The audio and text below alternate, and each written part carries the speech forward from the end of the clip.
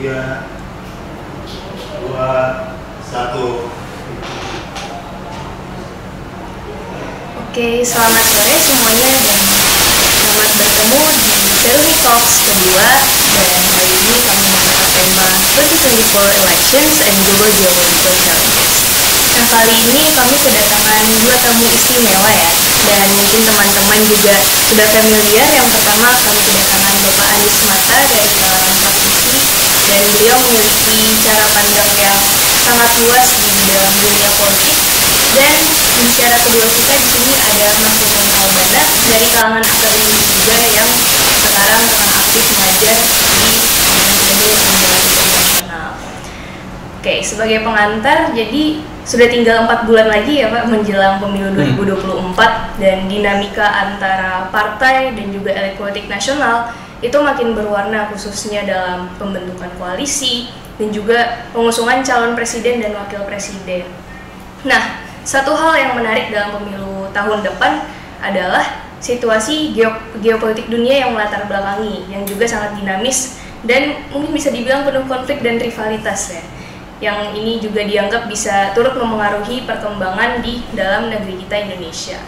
Dan sewaktu pemilu 2019 yang lima tahun lalu, kita juga menyaksikan adanya gelombang populisme yang mewarnai dukungan bagi masing-masing paslon. Dan di pemilu 2024 nantinya, ada juga kekhawatiran mengenai populisme baru yang mungkin bisa menyebabkan uh, polarisasi berbasis narasi bahwa ada kandidat tertentu yang ditunggangi oleh kekuatan asing, sebut saja mau itu Amerika Serikat ataupun Tiongkok. Apalagi kedua negara besar ini juga tengah bersaing di berbagai bidang ya. Ada empat utamanya yaitu bidang keamanan, terus teknologi, investasi dan juga infra infrastruktur. Nah, rivalitas mereka ini juga memengaruhi arah hubungan luar negeri Indonesia. Dengan demikian, muncul juga pertanyaan mengenai kira-kira apa saja yang harus diantisipasi oleh para pemangku kepentingan nasional kita, terutama bagi kita para kaum muda calon penerus bangsa. Oke. Dan sesuai tema kita hari ini 2024 election dan global geopolitical challenges, kita ketahui bersama bahwa pemilu adalah esensi dari demokrasi ya Pak.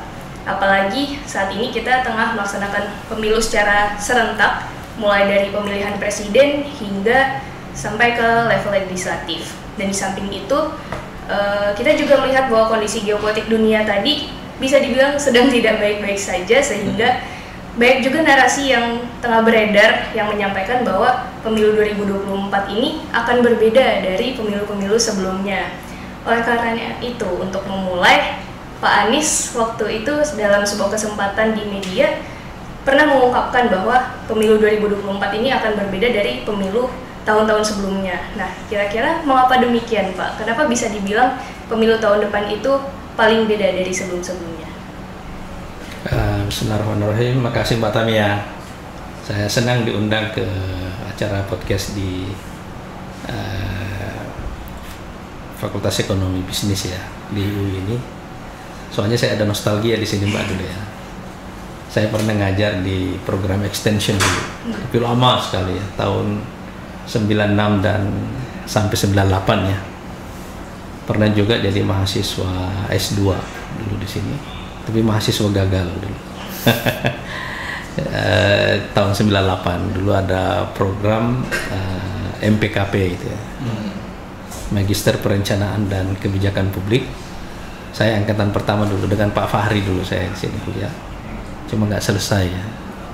Karena reformasi. Udah panggilan sejarah. Nah, terus kita bikin partai dan gitu. Sejak itu jadi praktisi dan nggak pernah kembali lagi ke UI itu. Ada panggilan ada panggilannya. Saya terakhir ke UI itu tahun kalau nggak salah 2013 dulu presentasi soal uh, buku saya dulu soal gelombang ketiga ya bersama guru-guru besar UI dulu di Salemba dan satu kali hmm. juga di sini. Saya selalu mengatakan bahwa pemilu 2024 ini akan menjadi pemilu yang sangat berbeda dengan pemilu-pemilu kita sebelumnya, uh, terutama karena uh, perubahan pada lanskap geopolitik global. Ya. tidak pernah kita menyaksikan paling tidak dalam eh, 30 tahun terakhir ini ya sejak runtuhnya Uni Soviet ada suasana pertarungan saya selalu menyebutnya konflik supremasi ya antara kekuatan-kekuatan superpower global uh, seperti yang uh, terjadi dulu pada perang dingin ya. Nah, cuma ini ada perbedaan yang fundamental dulu ya. Pada era perang dingin itu dunia tidak seterkoneksi sekarang gitu ya. Kalau sekarang sehingga ketika misalnya uh, ada perang di Ukraina misalnya karena efek koneksi yang disebabkan oleh globalisasi itu secara otomatis kita terpengaruh. Terpengaruh misalnya karena kita impor gandum banyak dari Rusia dan uh, Ukraina ya. Nah, jadi secara uh, de facto kita mengalami dampak dari perang itu yaitu kenaikan harga-harga khususnya harga uh, energi harga minyak dan juga harga uh, pangan ya. Jadi kita ada dalam uh, pengaruh itu. Dan sekarang kita lihat uh, konflik supremasi ini biasanya kalau dalam sejarah itu berlangsungnya lama ya. Dan biasanya bersifat hibrid ya. Artinya dia akan melibatkan seluruh sumber daya dan seluruh dimensi dan juga seluruh wilayah. Artinya apa? Konflik Amerika misalnya dengan Cina ini dan juga dengan Rusia atau Barat dengan uh, Cina dan sekutu-sekutunya Barat dan sekutu-sekutunya ini itu biasanya akan mengambil tempat yang luas. Artinya tidak ada wilayah dunia yang akan bebas dari zona perang ya sekarang kita lihat misalnya di Ukraine ya. Itu zona Eropa. Tadinya yang merupakan zona paling aman ya kan? Kemudian kita lihat Afrika sekarang nyala ini. Satu negara ini bisa hilang dari peta namanya Sudan ya. Nah, tapi kalau kita lihat di Afrika Barat ini kan serial kudeta yang luar biasa nggak berhenti berhenti ya. Dan Perancis mulai diusir dari Afrika. Artinya zona Afrika ini sekarang sudah berubah juga menjadi zona api. Nah, sekarang kita lihat lagi Timur Tengah ya. Nah, sekarang kali ini konflik ada perang, apalagi karena Israel kemarin sudah menyatakan ini sebagai perang. Nah, isu Palestina ini akan menjadi faktor pemicu konflik baru lagi di kawasan. Dan saya kira cepat atau lambat ini akan sampai juga ke uh, kawasan kita ini Indo-Pasifik ya khususnya dalam isu Taiwan dan isu Laut Cina Selatan ya.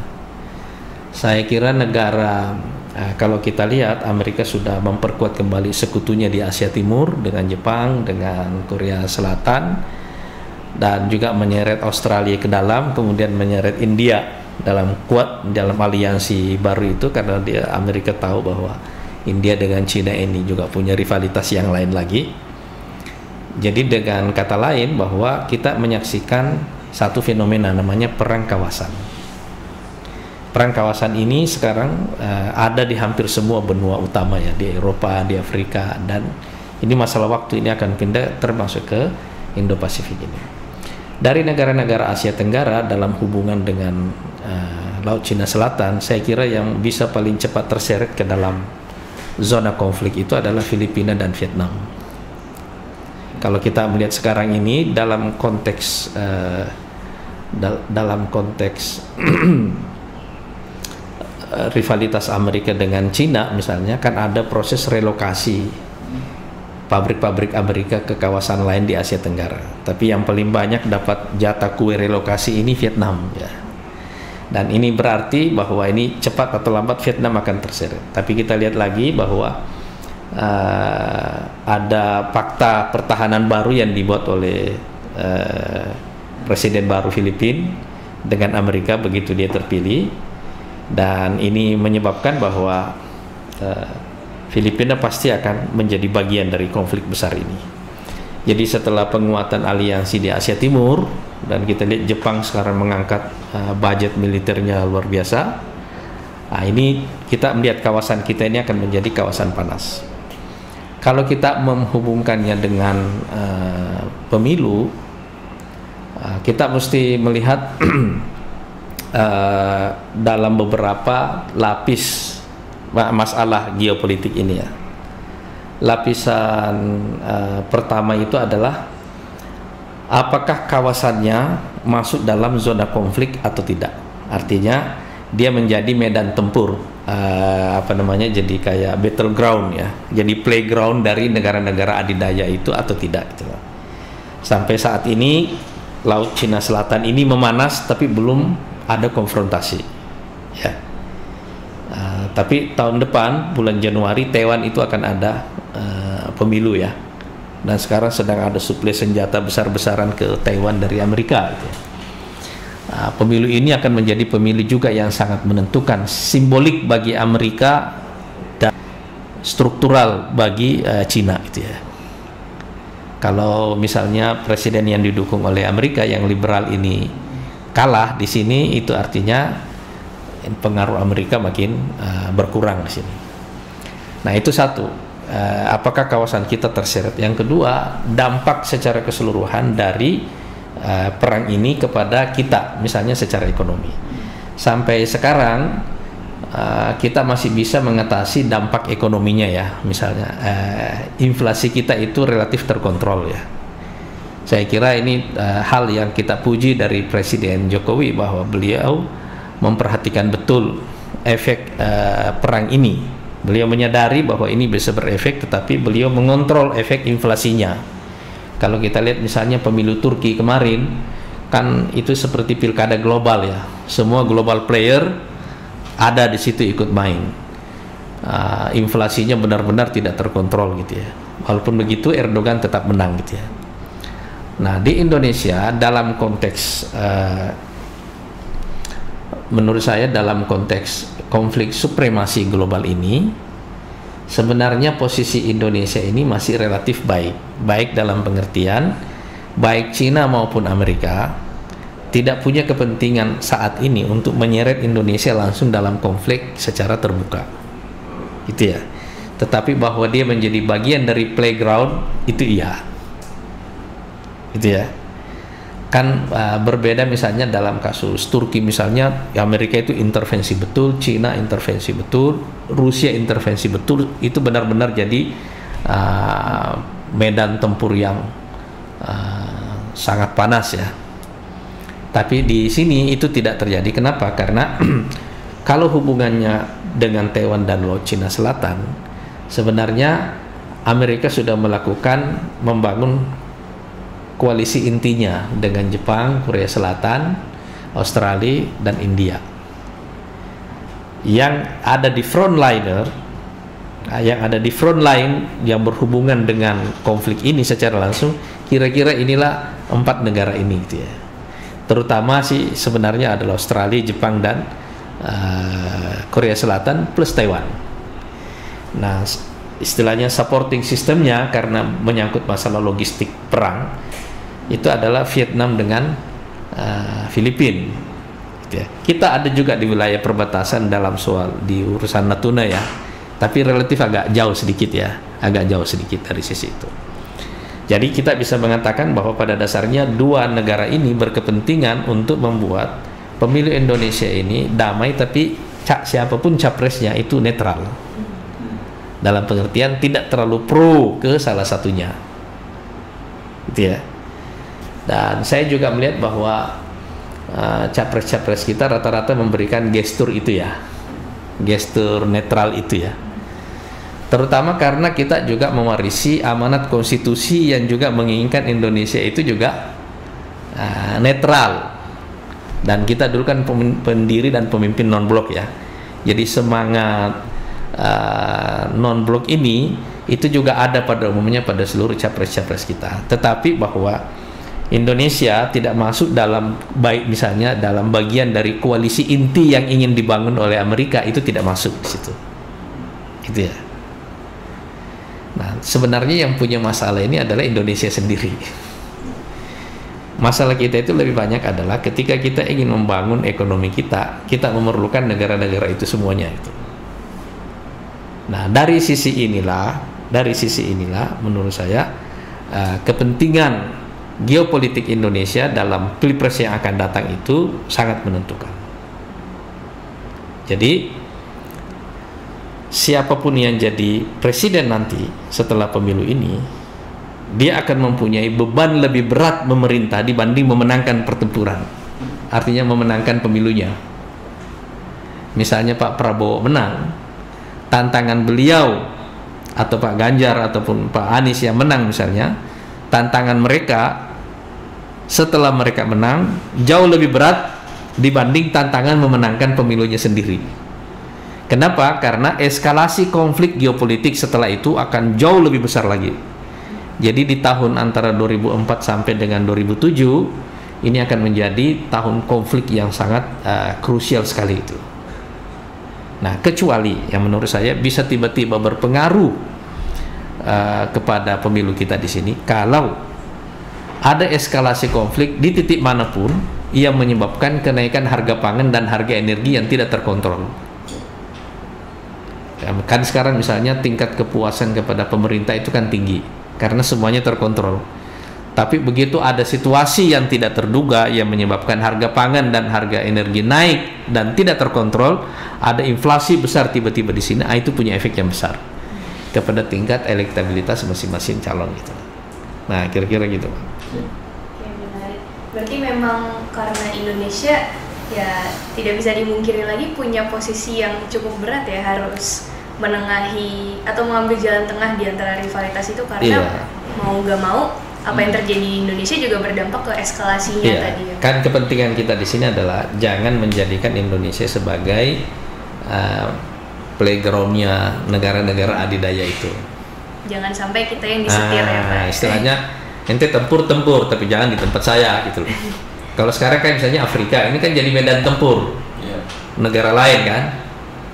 Rusia ada di situ, Cina di situ, Eropa di situ, Amerika di situ. Ah itu ini maksudnya di situ. Jadi maksudnya kita mesti menciptakan suasana yang tidak memancing global player terlibat di sini secara langsung. Menarik sekali Pak. Kemudian mungkin untuk Mas Sofwan sekarang setelah ya. Kita ketahui bahwa ternyata pemilu 2024 itu berjalan bersamaan atau dilatar belakangi hmm. dengan konteks geopolitik yang seperti tadi Pak Anies sudah jelaskan. Menurut Mas Sofwan, kenapa menjadi penting bagi kami para pemilih muda ya nantinya untuk aware terhadap isu geopolitik ini karena rasanya hmm uh, isu geopolitik ini sepertinya sering terlupakan ya untuk yeah. dibahas di tengah kampanye maupun sosialisasi yang dilakukan oleh oleh para calon kontestan di pemilu hmm. nantinya. Ya, uh, sebenarnya ini agak disayangkan memang kalau kita melihat bahwa isu-isu hubungan internasional, isu politik internasional itu sering kali jadi isu tambahan saja dalam uh, kampanye presiden atau kampanye uh, pemilu. Karena sebenarnya kalau kita lihat sejarah Indonesia sejak awal takdir geografis kita yang berada di antara dua samudra yang penting, di antara dua uh, benua ya uh, yang kemudian menjadikannya sebagai jalur yang uh, dilewati oleh uh, mayoritas ya barang-barang uh, yang diperdagangkan di seluruh dunia dan jalur energi yang penting pasti membuat seharusnya uh, si Indonesia ini selalu berada di bawah uh, konteks geopolitik yang penting. Kalau kita lihat secara historis, uh, sejak Indonesia lahir, Indonesia itu sudah berada di dalam uh, konteks persaingan geopolitik. Uh, jadi awal uh, kemerdekaan Indonesia tahun 1945 bahkan kemerdekaan Indonesia sendiri, Soekarno ditangkap oleh Belanda kenapa? Salah satunya adalah karena dia menyebarkan itu tuduhan yang menyebarkan hoax, yang menyebarkan kebohongan. Yang dibilang kebohongan apa? Kebohongan kalau kata Belanda adalah bahwa akan ada perang Pasifik. Tapi Soekarno bilang begini di pidatonya di uh, Jogja ya. Uh, waktu itu dia lagi mulai naik daun jadi salah satu tokoh nasionalis yang dominan. Dia mengatakan ya, katakanlah wahai para imperialis uh, bahwa kelak nanti jika Samudra Pasifik itu telah merah karena darah ya, dan tanah di sekelilingnya berguncang oleh uh, dinamit ya. pada saat itulah bangsa Indonesia akan merdeka. Itu dia sampaikan tahun 1929 itu belum mulai perang dunia kedua. Matra Pasifik itu belum dimulai.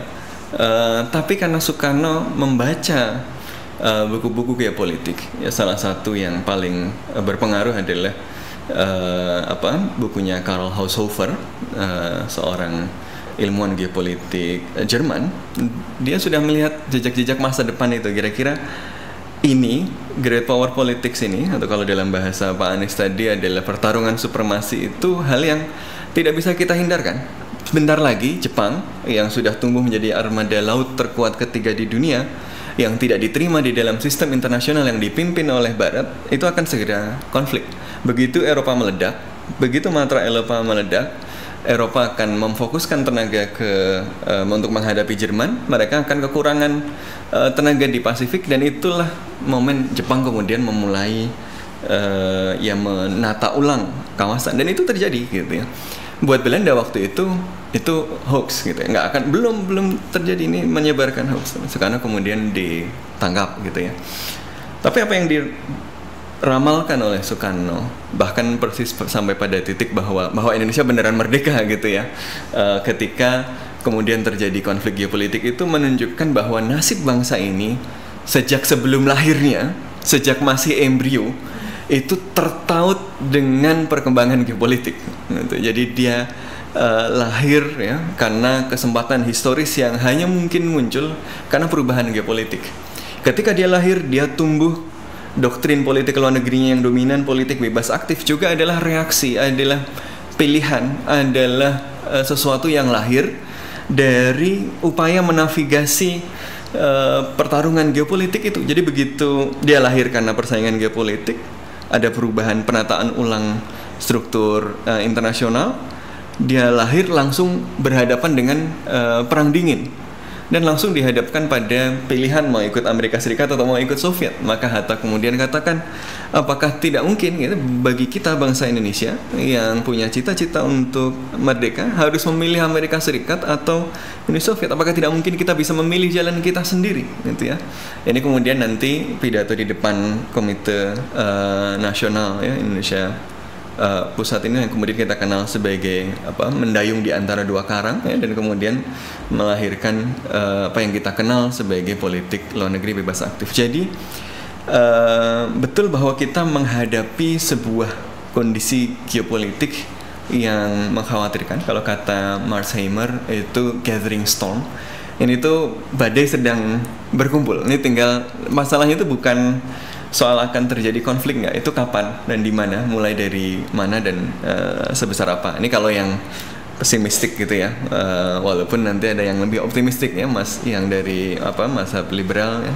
Nye uh, uh, Ekenberry akan percaya bahwa kita sudah sangat berbeda konteksnya dengan awal abad 20 sehingga kita akan bisa mengkonten konflik itu. Ya kita uh, akan lihat mana prediksi yang benar tetapi betul bahwa ada tantangan besar dari uh, persaingan uh, geopolitik tadi yang tentu akan berdampak pada kondisi domestik.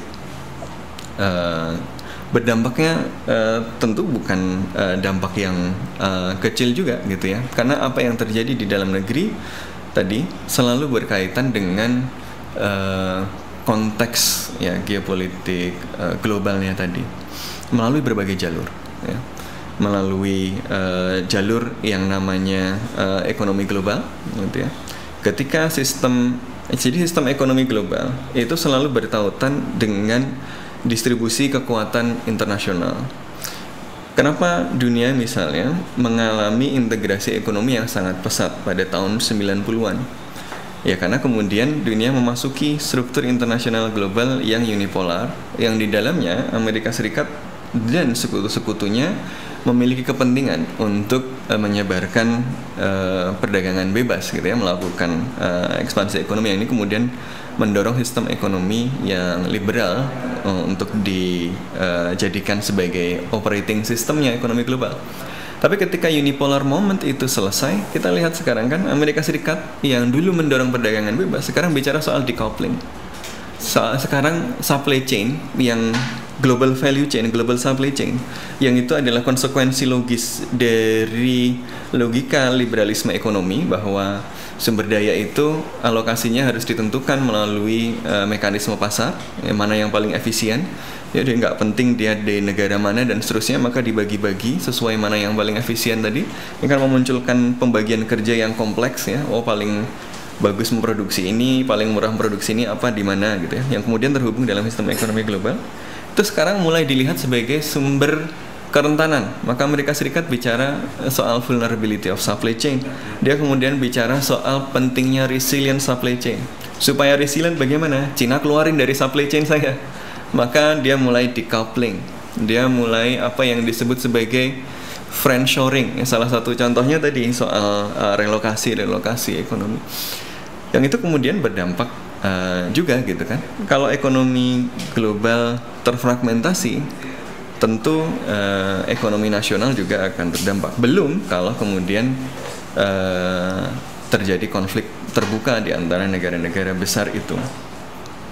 Jadi pertama uh, uh, saya uh, me, apa ya menyetujui tadi yang disampaikan oleh Pak Anies bahwa ini momen historis yang penting uh, dan uh, penting untuk memahami konteks geopolitik ini. Tapi kedua juga sekaligus mengingatkan kita bahwa ini bukan kali pertama kita sebenarnya menghadapi kondisi uh, yang demikian, gitu ya. Sejak fase embrionik itu ya memang sudah takdir geografis kita berada di tempat yang strategis dan pasti akan menghadapi kondisi-kondisi semacam ini.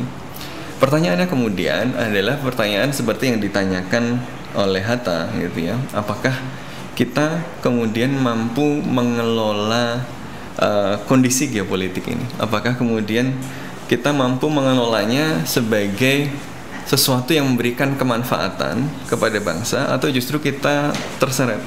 Kalau menurut saya ada lima uh, skenario ya skenario ini uh, terbentuk dari uh, dua aksis. Aksis vertikal adalah seberapa jauh perubahan dalam geopolitik tadi bisa dikelola. Ya.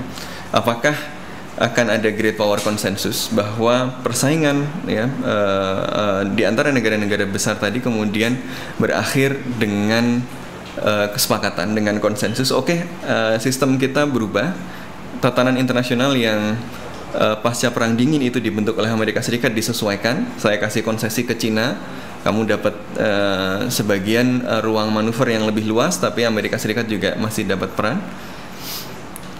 Uh, itu kita sebut sebagai great power consensus atau great power rivalry yang terus uh, terjadi atau great power rivalry yang tidak bisa dikelola menjadi apa yang kita kenal sebagai hegemonic war sebagai perang hegemonik. Jadi jadi spektrumnya itu dari uh, apakah great power rivalry itu bisa dikelola menjadi konsensus, apakah dia kemudian masih berlanjut sebagai fitur permanen, jadi terus bersaing, atau persaingan itu menjadi tidak bisa dikelola sehingga menjadi konflik terbuka. Lalu di sisi horizontalnya adalah dalam uh, konteks apa tiga manifestasi persaingan global ini adalah bagaimana Indonesia-nya. Apakah uh, Indonesia sebagai negara, ya negara Indonesia itu punya kapasitas institusional yang memadai ya untuk mengelola itu. Uh, kita uh, kalau dalam ekonomi politik internasional kita bicara soal uh, negara yang kuat dan negara yang lemah.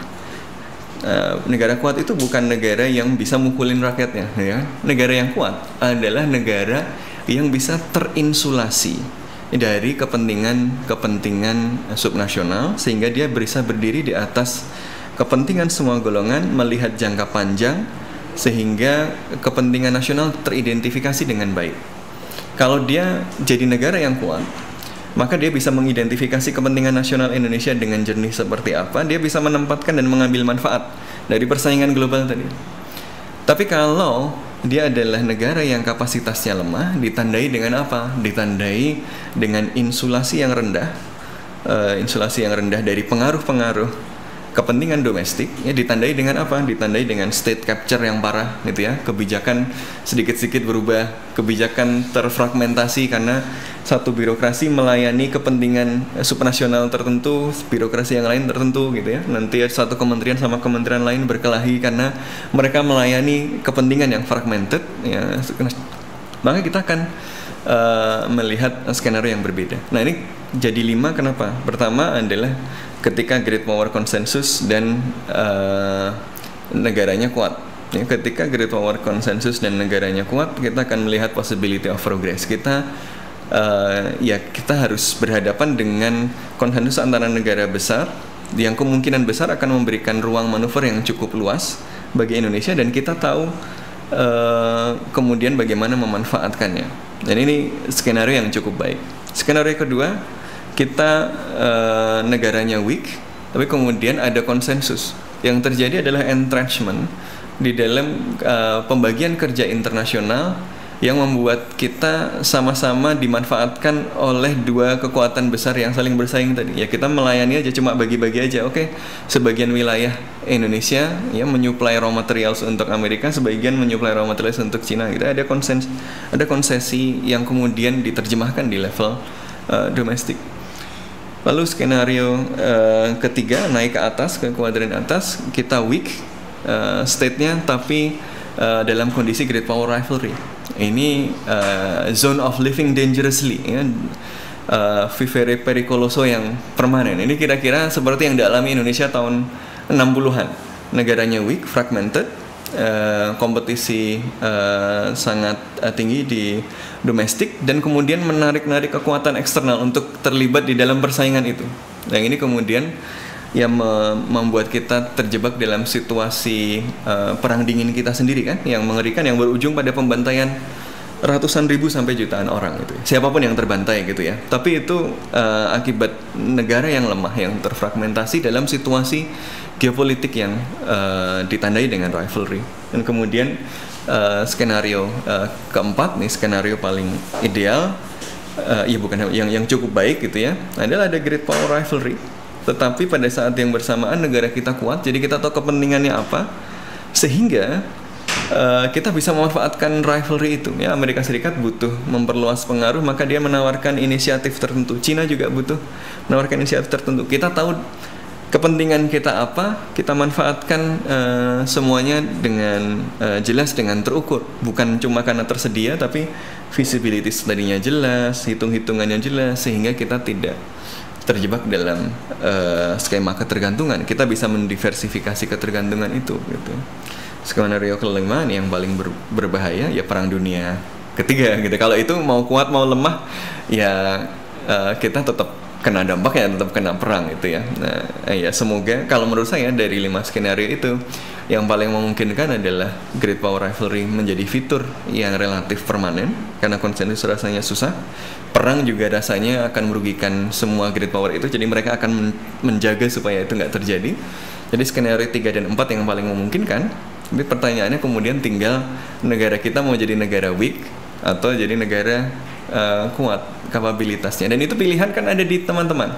Ya pilihan ada di kita semua kan. Kita uh, melalui proses demokratis ya kita kemudian bisa mengevaluasi apakah kapasitas negara kita sekarang ini menunjukkan bahwa uh, negara sudah cukup berdiri di atas semua golongan, sudah terinsulasi dari kepentingan-kepentingan subnasional gitu sehingga kebijakan-kebijakannya adalah kebijakan yang berdasarkan kepentingan jangka panjang yang dihitung dan dikalkulasi untuk kepentingan rakyat banyak atau mengalami state capture yang menunjukkan negara itu lemah ya ditentukan oleh segelintir elit yang kepentingan jangka pendek tapi dalam jangka panjang akan membahayakan kondisi uh, keuangan negara misalnya dan seterusnya. Nah, itu your judgment. Kalau Anda merasa bahwa sekarang Indonesia itu negaranya lemah ya, ya mungkin Anda harus memilih yang uh, mungkin membuatnya lebih kuat. Kalau Anda melihatnya Indonesia ini kuat, on the right track gitu ya, ya gaspol ya kan, uh, silahkan dilanjutkan.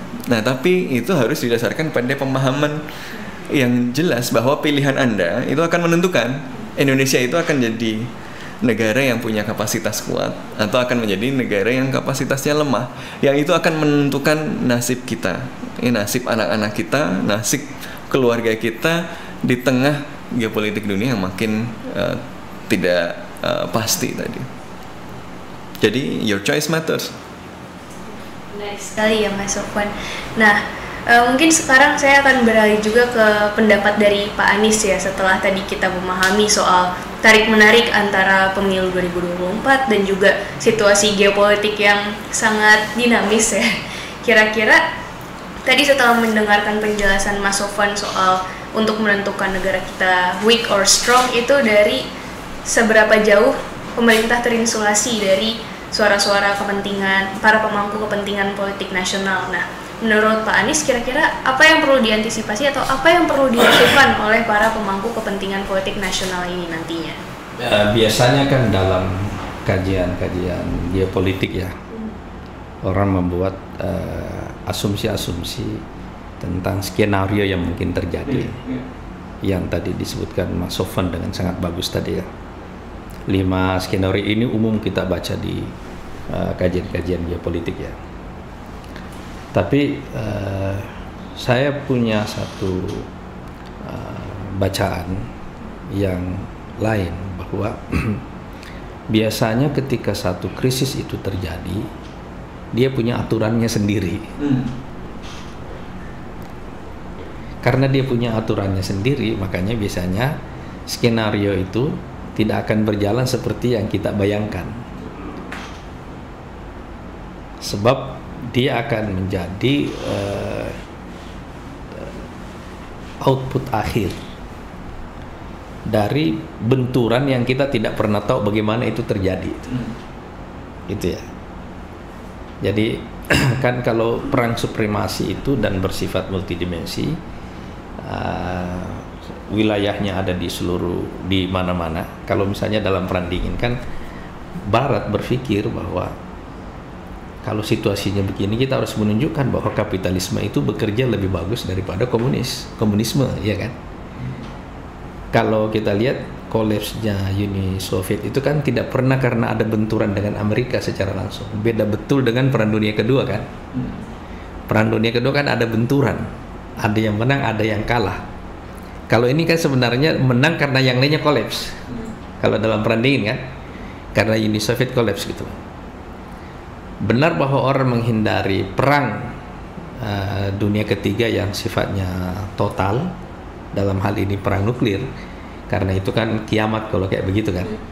Orang menghindari itu semuanya, tapi pada waktu yang sama situasinya juga berjalan ke sana. Ya. Itulah. Pada waktu yang sama ini berjalan ke sana. Jadi kalau kita bicara sekarang, probability mana yang lebih besar perang atau konsensus nanti yang sekarang itu perang probability yang paling besar ini yang sekarang eskalasi yang terus menerus uh, terjadi dan orang ini kan sampai di ujung jurang nih kan siapa yang kolaps duluan itu kan menyangkut kayak apa namanya flexibility tubuh anda gitu ya kalau anda berdiri di ujung jurang kayak begini nih sejauh mana tingkat kemiringan yang bisa ente tahan, ya kan? Yang bisa anda tahan kan? Tubuh nih ya, kayak gitu ya. Kalau enggak ente jatuh itu. Nah ini permainan ini sekarang sedang on the way ke situ dan biasanya dalam situasi seperti itu akan ada situasi di mana krisis itu menggunakan aturannya sendiri yang tidak bisa kita prediksi. Ya, itu uh, situasi yang sekarang ini sedang uh, Eh, terjadi. Misalnya kita melihat kalau di perang dingin kan kita me menyaksikan pertarungan narasi yang luar biasa. Iya kan? Kalau sekarang ini kan tidak terdengar ada pertarungan narasi ideologi yang kelihatan. Tapi sebenarnya basicnya itu luar biasa di situ itu. Yang terjadi justru misalnya kalau kita lihat ini kan perang teknologi itu ya kalau di masa perang dingin orang bicara tentang model, model sosial ekonomi misalnya yang sangat kuat. Mana yang bekerja lebih efektif misalnya antara uh, terpimpin atau yang ya yang liberal atau yang terpimpin atau komunisme atau kapitalisme. Tapi di era unipolar ini kan berlangsungnya cuma 20-an tahun lebih 25 tahun lah kira-kira ya. Katakanlah sejak 91 era unipolar ini berlangsung. Yang dirasakan orang apa sih? ketimpangan ekonomi secara global, ya kan? Ketidakadilan sosial, ya kan? Dan ini ancamannya apa? Ancamannya adalah bahwa negara-negara welfare ini nggak bisa bertahan dengan sistem itu. Ini berarti bahwa secara ideologi apa yang dulu efektif di masa perang dingin sekarang hancur gitu. Dan saya kira era liberalisme ini, era neoliberal ini berakhir tahun 2008 yang lalu. Setelah krisis finansial global itu ya, berakhir di situ. Dan ini salah satu background kenapa isu populisme muncul di Eropa. Tapi kan kita tidak menyaksikan populisme model Hitler di masa uh, setelah Perang Dunia Pertama. Belum. Belum kan? Semoga tidak. Nah, kan tidak kita tidak menyaksikan seperti itu. Tetapi akar dari populisme sekarang kan orang berpikir kalau misalnya misalnya populisme di Eropa atau di Amerika isu native kan karena uh, isu istilahnya isu nativisme versus isu uh, imigran. Kan kira-kira gitu kan? Isu pribumi lah sama non pribumi kira-kira gitu kan? Isu multikulturalisme kan kayak. itu isu yang dibawa oleh tapi isu itu sebenarnya ini isu sampingan sebenarnya. Isu basicnya adalah bahwa sistem neoliberal ini telah menciptakan gap yang sangat jauh secara ekonomi bukan hanya antar negara besar dengan negara lain tapi juga di dalam negara itu sendiri. Jadi waktu Anda membaca angka-angka makro misalnya seperti di Amerika, dia negara nomor satu ya. secara GDP nominal, ya kan? Tapi pada waktu yang sama juga itu juga negara nomor satu yang paling tidak adil secara sosial, ya kan? Jadi ini ini masalahnya. Itu yang menjelaskan kenapa Trump bisa muncul. Kan ini masalahnya kan? Tapi di waktu kita menyaksikan ketidak apa namanya ketidakadilan sosial sebagai atau ketimpangan sebagai sumber uh, kegagalan dari neoliberalisme ini pada waktu yang sama kita tidak menyaksikan pertarungan di level narasi ideologi seperti yang kita dengar di masa perang dingin. Tiba-tiba ini lompat mengalami eskalasi ke konflik militer. Ya kan? Dan kemudian konflik yang terjadi secara domestik justru. Dan karena itu saya membayangkan bahwa dalam eskalasi konflik menuju perang global itu akan ada dua jenis perang yang terjadi. Satu perang kawasan satu lagi perang saudara. Negara seperti Amerika ini ada dalam ancaman perang saudara. Kalau terjadi perang kawasan di dunia yang paling aman itu Amerika. Nggak ada perang di negaranya soalnya kan. Dalam pengertian dengan tetangga misalnya kan kan nggak kebayang kita dia misalnya perang seperti dulu dengan Kuba atau dengan Meksiko kan enggak iya kan? Tapi Amerika diserbu oleh imigran dari Amerika Latin. Iya kan? Yang masuk ke uh, Amerika. Dan ini menyebabkan perubahan demografi yang luar biasa. Iya kan? Dan karena dia menyebabkan perubahan demografi ini ada perubahan juga tren. Pernah nggak anda kebayang bahwa suatu waktu Amerika dipimpin orang India Kan sekarang kan salah satu calon presiden di Partai Republik ini kan turunan India. Siapa yang pernah membayangkan bahwa uh, Sunak bisa jadi perdana menteri Inggris, iya kan? Kan itu efek. Cuma kan kita sekarang tidak pernah mendengarkan bahwa orang Inggris ada isu pribumi non pribumi kan? Di bawah itu ada isu itu. Di bawah ini ada isu ini. Itu. Kalau anda pergi ke London ini kan udah bukan punya orang Inggris itu kota gitu kan, secara aset ya udah bukan? Arab ya. nah jadi ini ada persoalan yang sebenarnya secara fundamental bersifat ideologi tetapi konflik ideologi di tata narasi itu tidak terbaca. Hmm. yang langsung terjadi itu eskalasi pada konflik politik dan langsung kepada konflik militernya justru itu.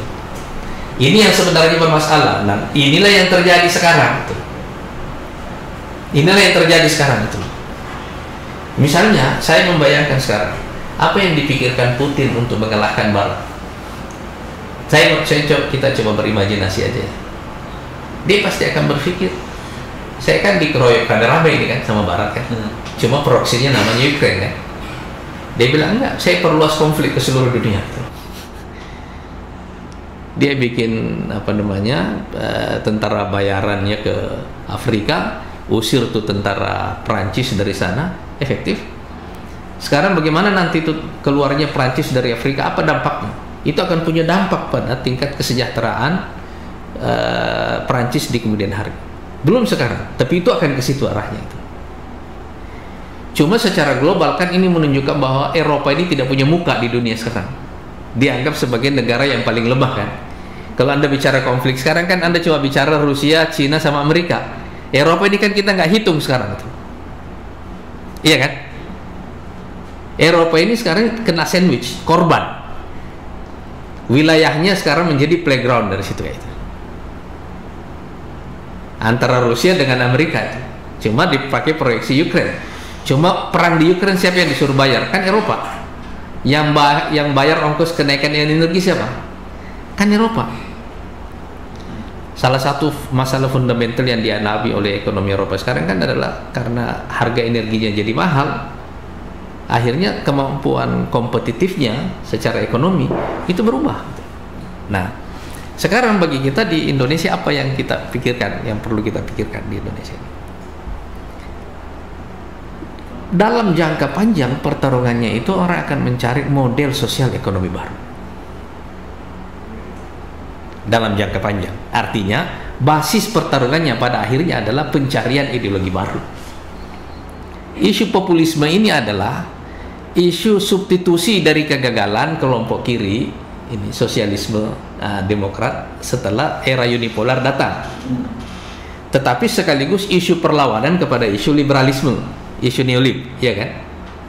Dan kelompok populis ini makanya kan sebutan lainnya adalah illiberal Iya kan? Tapi pada dasarnya secara ideologi itu dia di situ. Kalau sekarang misalnya Putin bicara tentang sistem unipolar, apa multipolar ya kayak gitu kan. Ini kan istilahnya konteksnya nanti kayak gitu. Tetapi intinya kan isu keadilan. Iya kan? Itu intinya isu keadilan di situ. Tapi seperti apa model sosial ekonominya di kemudian hari itu yang sekarang orang belum temukan. Orang belum sadar bahwa dalam jangka panjang pertarungan itu akan ke situ. Tapi dalam jangka pendek dan menengah pertarungannya itu akan bersifat fisik.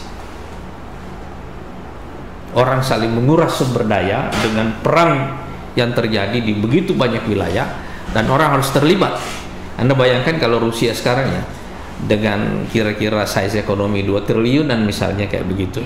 Dia harus mengongkosi perang di seluruh dunia kayak sekarang kan. Kan gimana caranya dia ngatur nafasnya? Iya kan?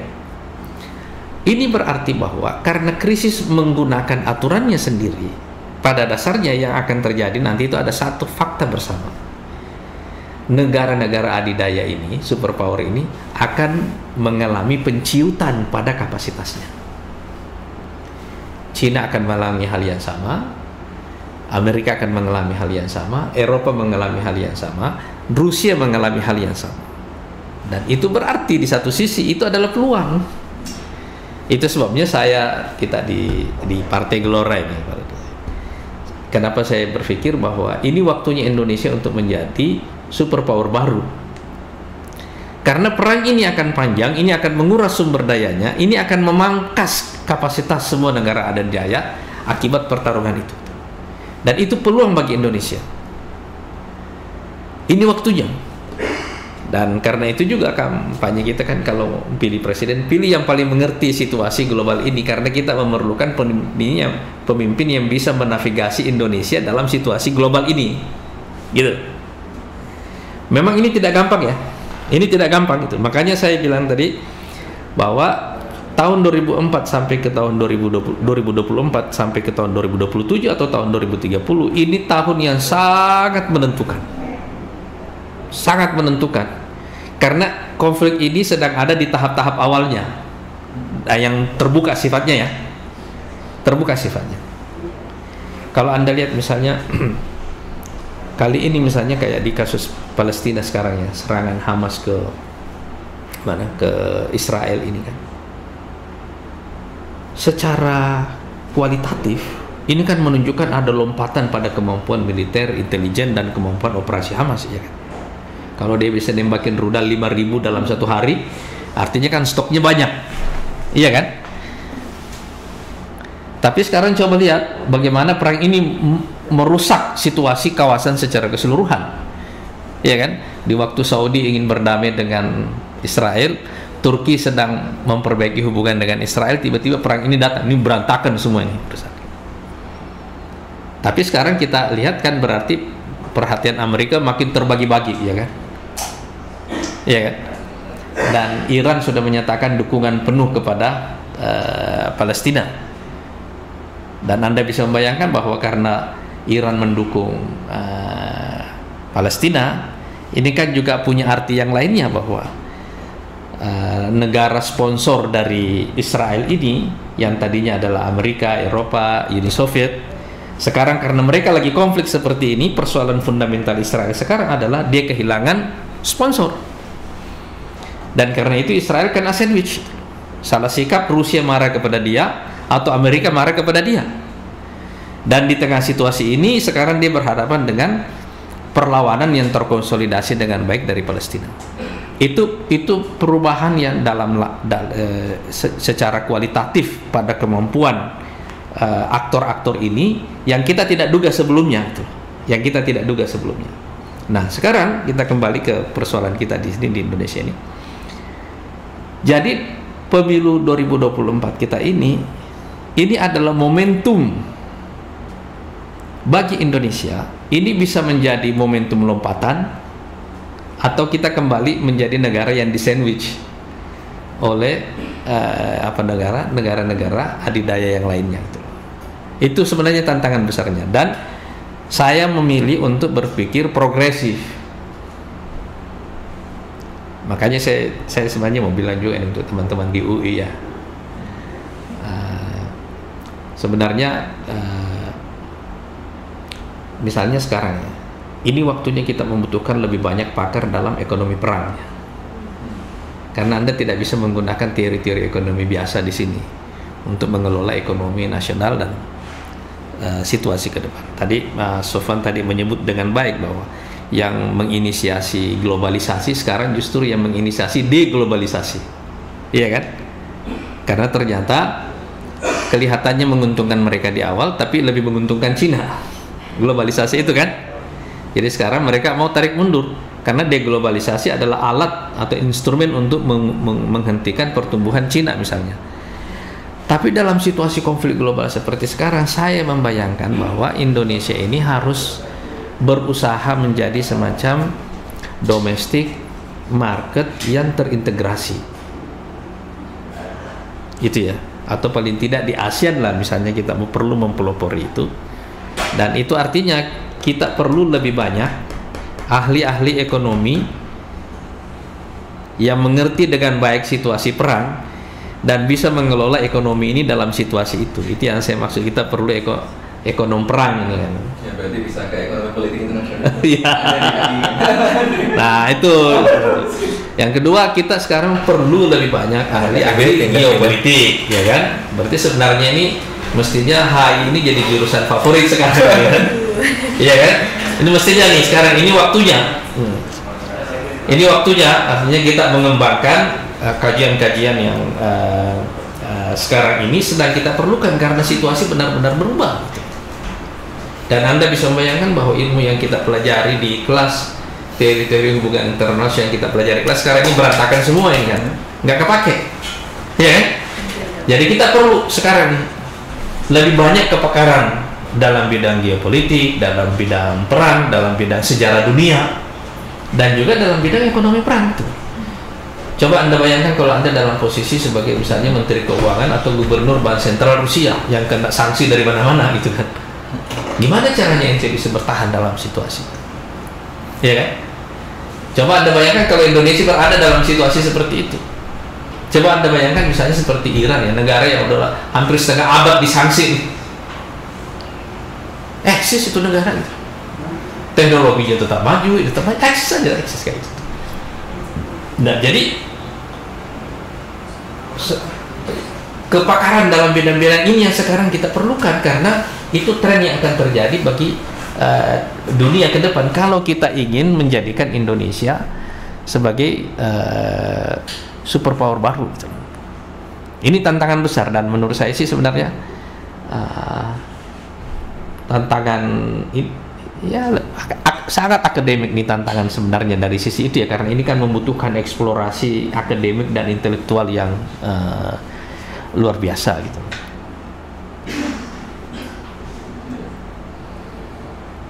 Jadi intinya dari pembahasan Pak Anies dan Pak Sofon setiap jejak langkah yang akan ditempuh oleh Indonesia nanti tidak hanya berpengaruh ke ya keberlangsungan Indonesia hidup Indonesia nantinya tapi juga ke arah situasi geopolitik nantinya ya Pak. Nah kemudian uh, saya izin melayangkan pertanyaan yang mungkin bisa dibilang sapu jagat ini kepada Pak Anies dan juga Mas Sofwan ya. Jadi uh, menurut Pak Anies dan Mas Sofwan apakah menimbang geopolitik tadi yang sangat dinamis terutama highlightnya adalah rivalitas antara AS dan juga Tiongkok apakah ada kemungkinan intervensi oh. kepentingan negara-negara adidaya terhadap pemilu 2024 nantinya? Saya izin ngasih tambahan dulu sebentar ya. Tadi apa? Oh. Uh, karena menarik sekali yang disampaikan oleh Pak Anies tadi soal um, eh bagaimana periode unilateral itu uh, kemudian bertautan dengan uh, peningkatan ketimpangan. Memang sistem internasional itu harus dilihat sebagai sesuatu yang ditopang oleh uh, tiga pilar sekaligus yang saling bertautan. Pilar pertama adalah apa yang kita sebut sebagai interstate system, sistem hubungan antar bangsa. Ini ditandai dengan apa? Ditandai dengan distribusi kapabilitas internasional. Uh, siapa yang memiliki uh, apa kapasitas material paling banyak gitu kan? Ini mulai dari ekonomi politik dan macam-macam. Yang distribusinya itu akan menentukan pola interaksi di dalamnya.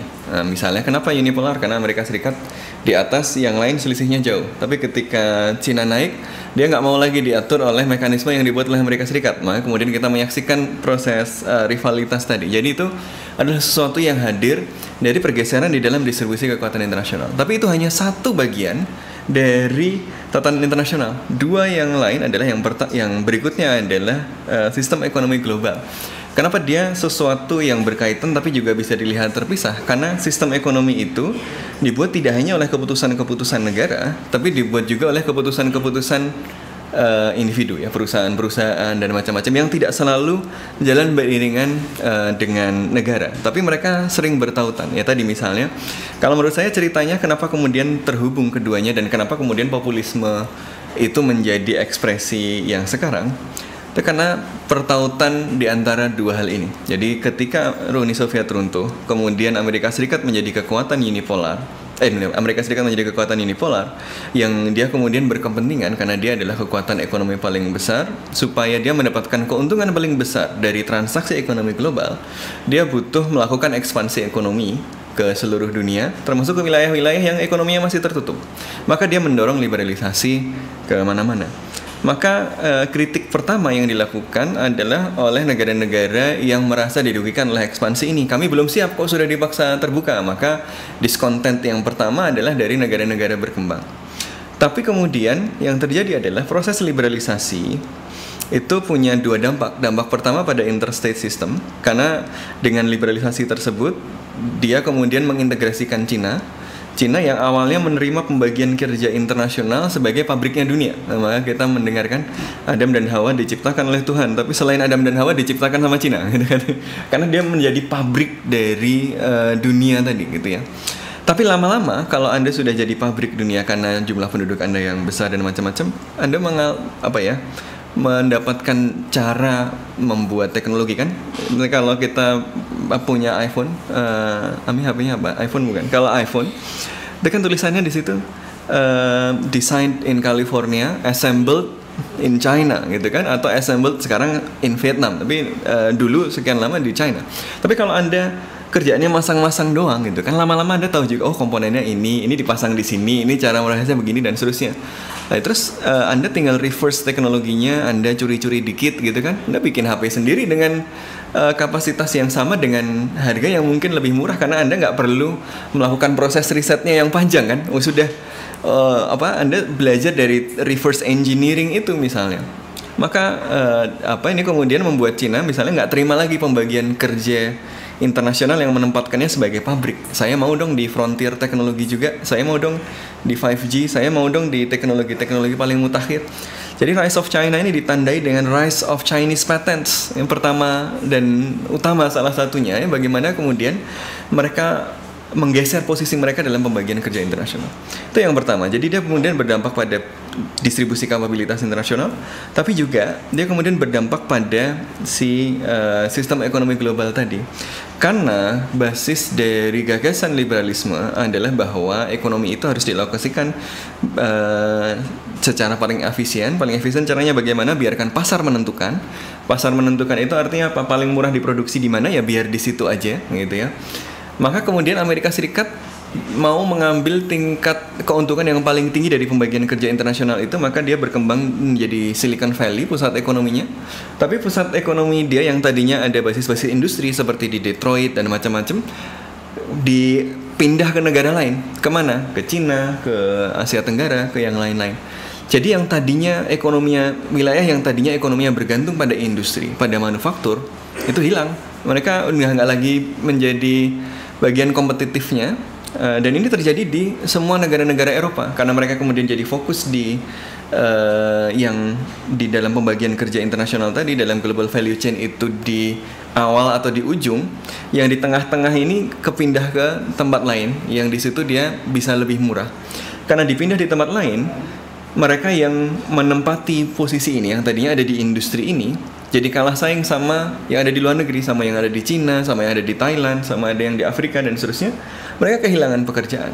Jadi ke, jadi ekonomi dunia tumbuh lebih efisien ya barang yang diproduksi makin banyak tapi ketimpangan itu makin pesat karena tadi karena hollowing out industrial base di negara-negara maju tapi sekaligus kemudian karena basisnya liberalisme adalah mencari tempat yang paling efisien, harga-harga jadi murah. Bagaimana negara berkembang bisa dapat jatah dari ekonomi global tadi? Oh, eh, karena keunggulan komparatifnya adalah buruh murah, maka terjadilah race to the bottom. Oh, saya tekan caranya gimana buruh saya dibayar uh, paling murah gitu. Buruh jangan demo ya, buruh diatur supaya mereka mau uh, murah dan seterusnya. Yang itu kemudian memunculkan race to the bottom. Jadi di negara berkembang jadi race to the bottom, di negara maju hollowing out industrial base. Dua-duanya berdampak pada kemunculan ketimpangan. Ketimpangan tadi uh, kemudian uh, diisi oleh ya karena yang tadinya basis industri, taraf hidupnya sudah tinggi, uh, mereka nggak mau lagi mengerjakan yang lebih uh, rendah lagi karena yang tersisa kan tinggal yang paling tinggi sama yang paling rendah. Yang paling rendah diisi siapa? Yang mau ngisi imigran-imigran ini. Jadi imigran-imigran datang mengisi uh, ruang ekonomi yang uh, jadi bolong tadi. Sementara ya banyak ya uh, yang ada di situ kemudian merasa ekonomi memburuk. Ekonomi memburuknya bersamaan dengan kedatangan para imigran ini. Yang ini kemudian membuat mereka menyalahkan imigran pada uh, semua persoalan uh, itu dan ini uh, sebenarnya merupakan simptom dari keterpautan di antara dua pilar dari uh, tatanan internasional yaitu global economic system dan interstate system. Tapi ada satu pilar lagi yang tadi belum kesebut tapi akan sangat penting di masa yang akan datang yaitu ecological system. Jadi dua sistem ini itu rest di atas ya dia berdiri di atas sistem ekologis. Ekonomi dunia itu cuma bisa jalan karena interaksi uh, dengan sistem ekologis tadi. Ketika kita berproduksi, kita itu menghasilkan waste. Kita kemudian mengambil sesuatu pasti ada konsekuensinya ya mengeruk tambang, menanam pohon dan seterusnya itu ada konsekuensinya kepada lingkungan ya merubah hutan jadi perkebunan itu pasti ada konsekuensinya dan kita sudah mulai mendapatkan konsekuensi konsekuensinya sedikit kan climate change is happening ya sudah terjadi. Jadi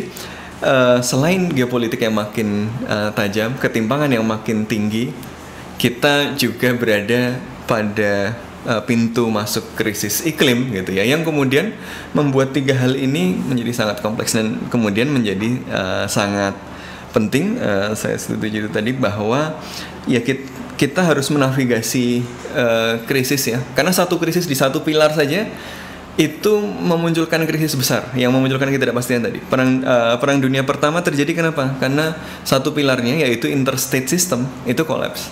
Perang dunia kedua kenapa krisis terjadi? Karena ada dua pilarnya hancur apa? Bretton apa sistem standar emas runtuh sehingga perdagangan bebas anjlok ditambah interstate sistemnya uh, berubah karena Jerman uh, apa naik dengan cepat ya.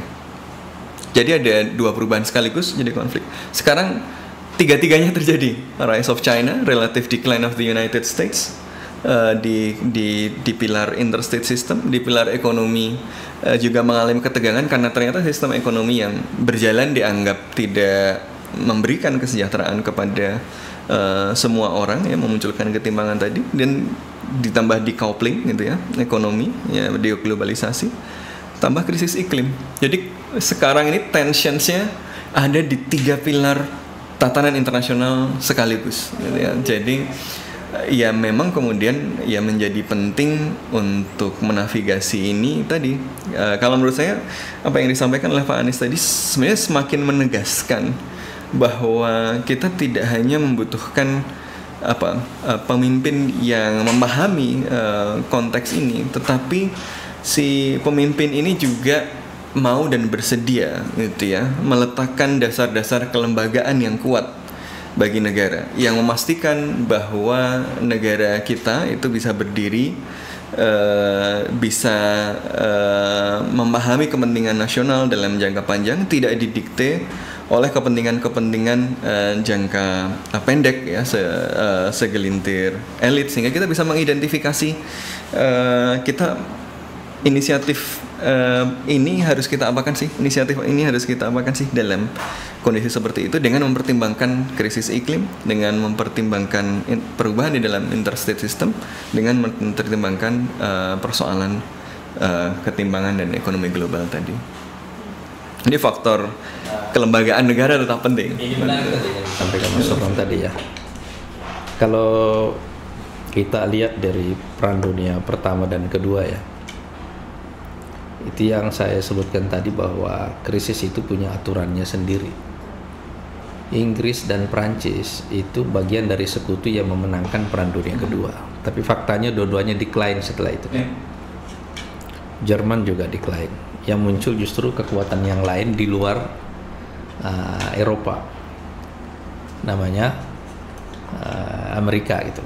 Sekarang kalau pertarungannya ini antara Amerika Cina sekarang dan nah, sekarang ada Rusia dan seterusnya. Kan kita belum punya bayangan nanti ini kan. Ini bukan soal mereka kolaps atau tidak tetapi energinya setelah itu itu biasanya energinya untuk bangkit untuk naik. Itu biasanya habis setelah konflik berlarut yang sangat lama. Gitu.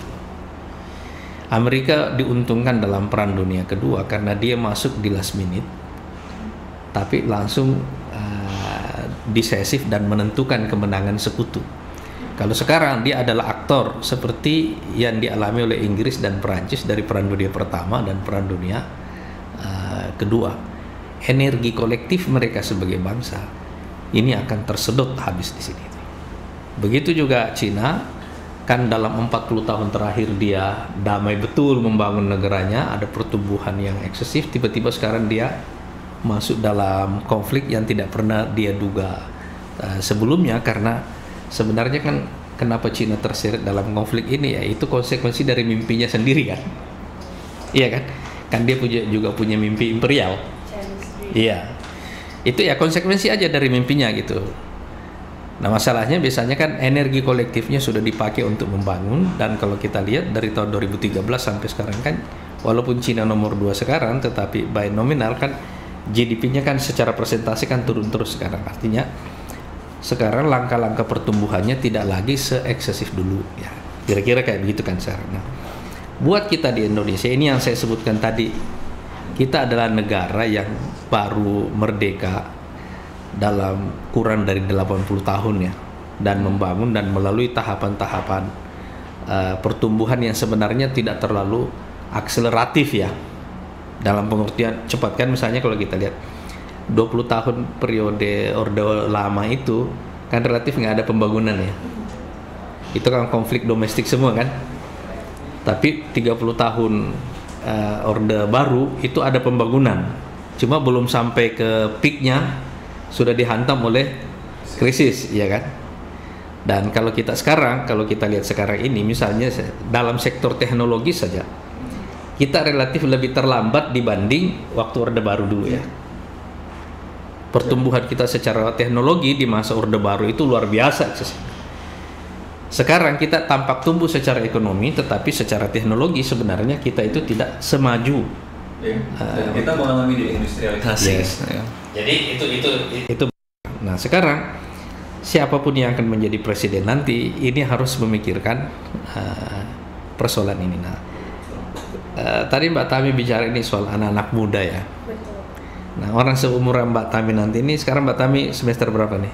Saya semester 7. Semester 7. Kira-kira Mbak Tami ini akan memasuki umur kerjanya setelah kuliah nanti sampai middle age nanti umur 40-an di seluruh di tengah konflik global ini nanti.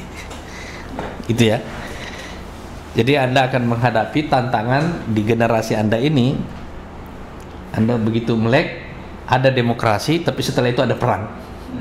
Ada krisis yang berlarut terus-menerus dan uh, generasi Anda ini yang akan paling terdampak dari isu ini. Jadi kalau pemimpin kita nanti tidak bisa menavigasi Indonesia di tengah krisis seperti ini, uh, generasi Anda yang akan menjadi korban paling besar di sini itu. Jadi sandwich.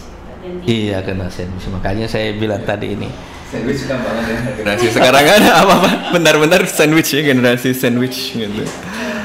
Karena mungkin ada keterbatasan waktu ya. Jadi saya izin melayangkan pertanyaan pamungkas yang sekalian bisa jadi closing statement juga untuk Pak Anies dan juga Mas Sofwan. Iya.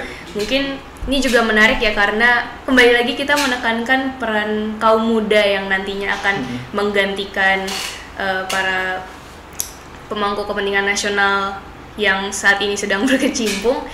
Kira-kira bagaimana harapan dari Pak Anies dan juga Mas Sofwan eh, terhadap kami para kaum muda misalnya mungkin diharapkan nanti bisa menerapkan kebijakan yang dapat eh, membantu memperkuat posisi Indonesia nanti ya di konteks geopolitik global yang sangat eh, bikin tidak seimbang atau bagaimana mungkin? Kalau saya sih harapan terbesar saya sebenarnya kampus sekarang ini harus melahirkan banyak pemikir-pemikir gila. Dalam pengertian secara intelektual sangat eksploratif, eh, juga sangat kreatif dan saya membayangkan bahwa konflik geopolitik ke depan itu akan merombak seluruh eh, apa namanya bangunan pemikiran yang selama ini kita pelajari di eh, kampus gitu ya. dan itu berarti berarti seperti Mbak Tami nanti begitu selesai dari kuliah Mbak Tami nanti akan menemukan bahwa yang kita pelajari di kampus itu kenyataannya tidak banyak membantu kita di lapangan karena situasi yang kita temukan di lapangan benar-benar baru sama sekali dan kita tidak pernah mempelajarinya sebelumnya. The real certainty is uncertainty ya Pak. ya? Jadi seharusnya sekarang generasi muda dalam hal ini yang saya sebut eh, kampus dan karena itu saya saya ingin memperjuangkan supaya eh, sebenarnya sih program wajib belajar itu harusnya sampai paling sedikit S1 ya 16 tahun lah total wajib belajar itu. Kalau sekarang kan baru 12 tahun ya. Walaupun itu average di semua negara, tetapi maksud saya adalah bahwa pendidikan akan menjadi kekuatan utama kita ke depan karena kita akan menghadapi dunia yang tidak pernah kita pelajari di kampus sebelumnya. Tetapi kita apa yang kita dapat dari kampus nanti itu adalah kemerdekaan berpikir dan kemampuan eksplorasi secara intelektual, secara akademik. Itulah modal kita nanti masuk kepada dunia yang sangat tidak pasti dan kita akan lebih banyak belajar di lapangan, menemukan ide baru di lapangan dan menavigasi negara kita ke depan dengan cara seperti itu. Itu yang uh, sekarang menurut saya tantangan terbesar kita dengan uh, generasi muda kita itu ya. Bisa jadi inspirasi ya berarti Iya. buat para kaum muda yang sedang menonton sekarang dan terakhir mungkin dari Mas Sofan pertanyaan sama Mas. Iya, terima kasih Tam.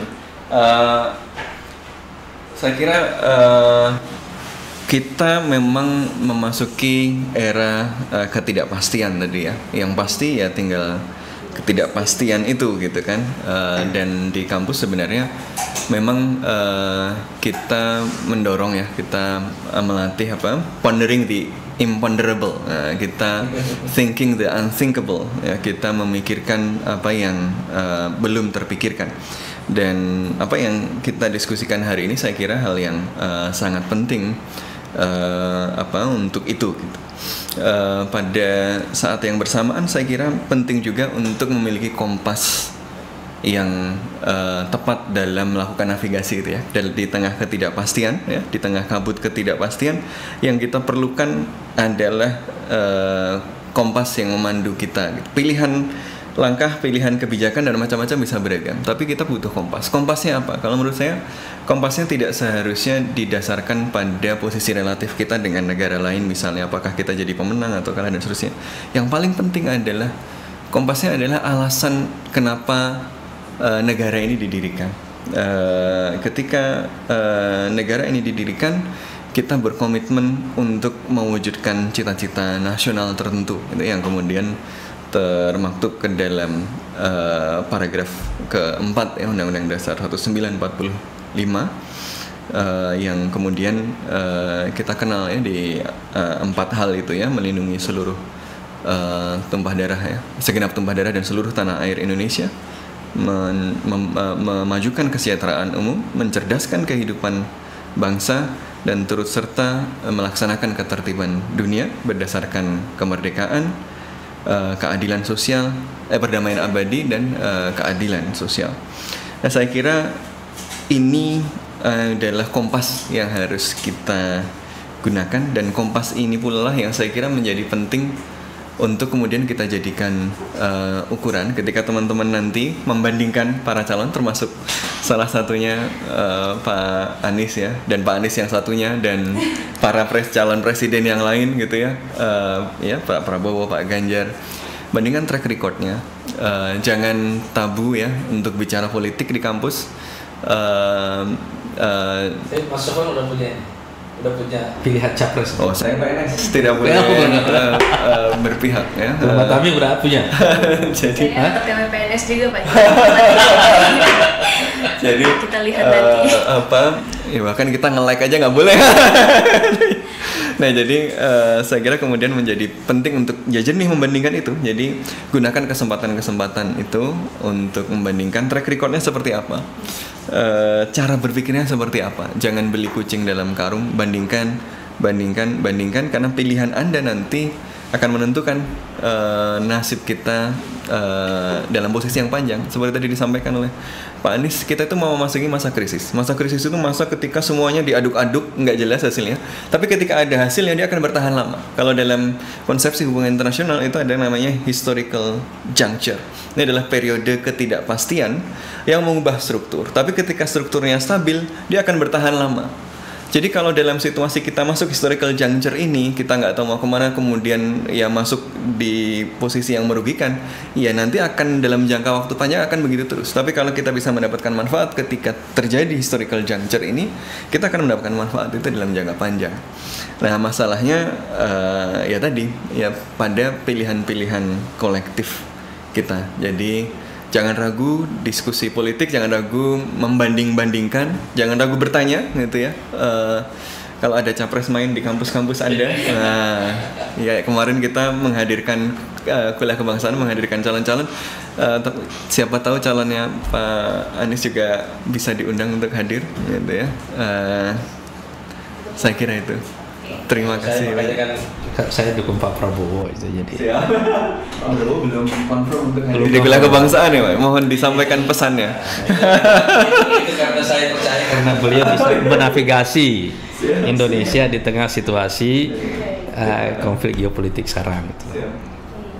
Baik. Kita tunggu kehadirannya di kampus. Terima kasih banyak Pak Anies dan juga Mas Sofwan atas closing statementnya yang sangat yeah. luar biasa ya. Di, diharapkan bisa menggerak semangat para kaum muda yang nantinya kita akan menjadi penentu masa depan bangsa ya. Dan mungkin cukup sekian juga dari saya sebagai moderator pada diskusi sore hari ini.